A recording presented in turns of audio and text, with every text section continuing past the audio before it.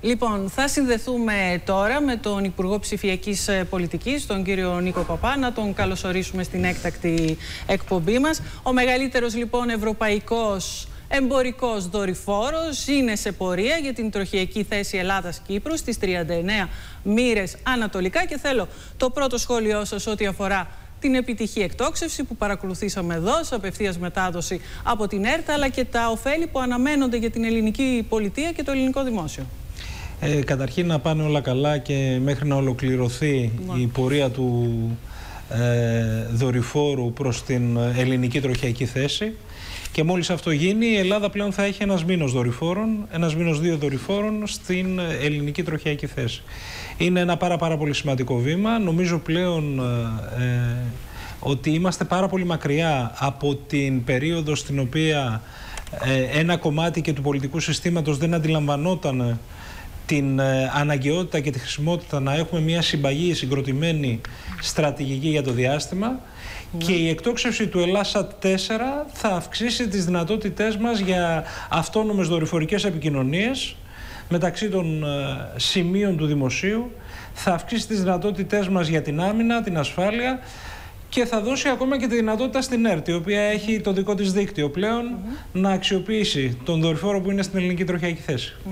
Τώρα, οι εθνικές προτεραιότητες ό,τι αφορά στο διάστημα, αλλά και στο σύνολό της η διαστημική πολιτική, χαράσσονται πάντα σε ένα τρίπτυχο. Το τρίπτυχο αυτό αφορά ανάγκες της χώρας, αφορά σε στόχους της χώρας και αφορά και σε δυνατότητες. Δέκα μήνες λοιπόν μετά τη σύσταση του ΕΡΔΟ με τις τόσες αναταράξεις στην Πρεμιέρα τι έχουμε κάνει στον τομέα των αναγκών, ποιες ανάγκες έχουν καλυφθεί, ποιοι στόχοι έχουν επιτευχθεί και ποιες δυνατότητες έχουν αξιοποιηθεί. Οι αναταράξεις τις οποίες συναντήσαμε φαντάζουν ότι είναι έτη φωτός μακριά, κυρία Παρασκευοπούλη πλέον. Ε, διότι αντιλαμβάνονται όλοι ότι η συγκρότηση του ΕΛΔΟ ήταν μια εθνική αναγκαιότητα.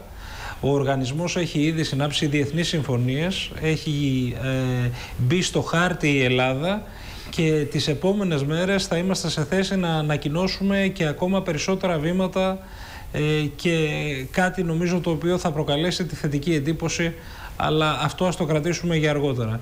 Ε, τώρα που το είπατε, είναι, ε, όχι, δεν θα, θα κάνω μία προσπάθεια, σας, μήπως σας και το ανακοινώσετε. Σας υπόσχομαι όμως ότι θα το, θα το ανακοινώσουμε στην ΕΡΤ. Εντάξει, κρατάμε ε, την υπόσχεση. Αλλά νομίζω ότι πλέον είμαστε σε μια κατάσταση που επιταχύνεται η ανάπτυξη της πολιτικής μας για το διάστημα. Ε, έχουν αντιληφθεί οι πάντες την αναγκαιότητά της. Ο ΕΛΔΟ συγκροτείται, στελεχώνεται και θα είναι σε θέση να συντονίσει ακριβώς όπως προβλέπει η καταστατική του αρχή όλους τους φορείς και του ιδιωτικού και του δημόσιου τομέα που ασχολούνται με το διάστημα.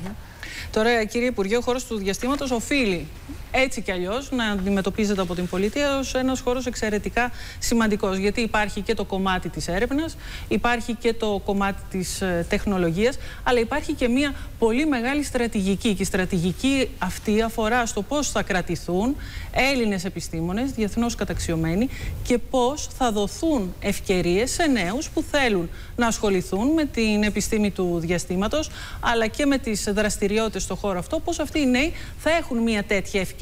Γίνονται βήματα από τον ΕΛΔΟ προς αυτή την κατεύθυνση; Βεβαίως και γίνονται και επειδή έχετε εκεί πέρα και το διευθύνοντα του ΕΛΔΟ, τον κύριο Ματζούρη, αν το ρωτήσετε θα σας πει τι βιογραφικά, πραγματικά εντυπωσιακά βιογραφικά ε, κατατέθηκαν ε, για να πληρωθούν οι θέσεις του επιστημονικού προσωπικού του ελληνικού διαστημικού οργανισμού.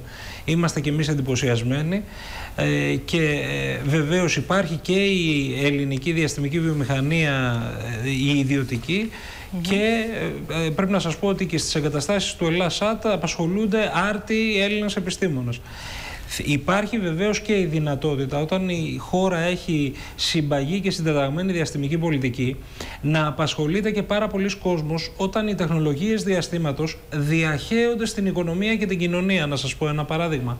Θα έχουμε πάρα πολύ σύντομα την ανάπτυξη μιας δημόσιας υποδομής για την ψηφιακή γεωργία. Η ψηφιακή γεωργία χρησιμοποιεί τεχνολογία διαστήματος, χρησιμοποιεί τεχνολογία δορυφόρων, φωτογραφίες που έρχονται από το διάστημα.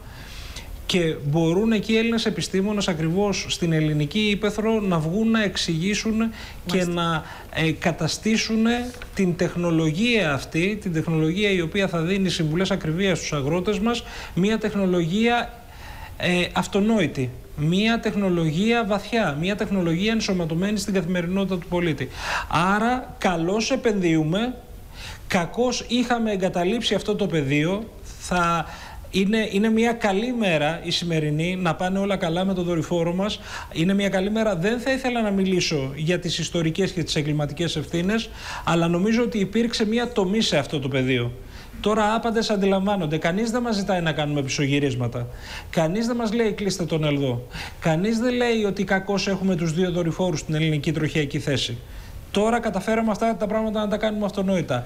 Ήταν... Καλούνται όλοι λοιπόν να συμβάλλουν σε αυτό το διάλογο. Και ήταν μια επιτακτική ανάγκη να συσταθεί μια ελληνική διαστημική υπηρεσία εδώ και πολύ καιρό και πάρα πολύ καιρό και όλοι έχουν απέτηση και θέλουν και προσδοκούν να δουν να παράγει έργο. Ε, να σας επιτρέψτε μου ένα, ένα τελευταίο, επιτρέψτε μου. Είναι στο ναι. πάνελ σας ο κύριος Σιμόπουλος.